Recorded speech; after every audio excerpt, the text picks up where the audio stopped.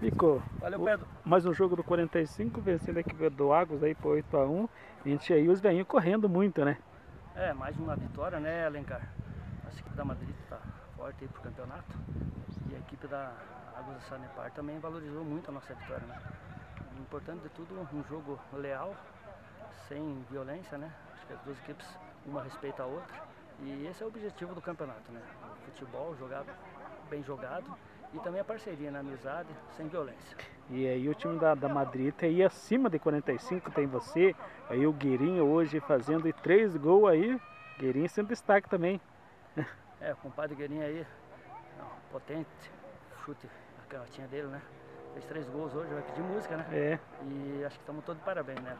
Nossa equipe, você falou muito bem, é, são vários é, acima de 50, mas o importante é a parceria nossa aqui da Madeirite, são desde os anos 90, né, junto esse grupo, e estamos aí, o importante é a parceria. Gueirinho, terceira rodada aí do 45, a gente vencendo a equipe aí do Águas por 8x1 e você deixando também três golzinhos, deixando três marquinhas, tu, que jogão, né?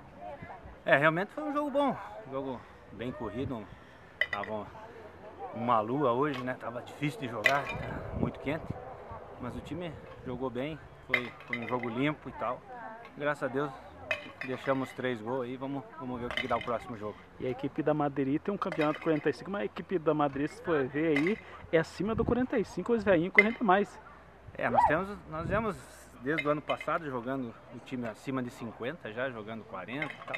Então acho que o time tá bem, bem ajeitadinho.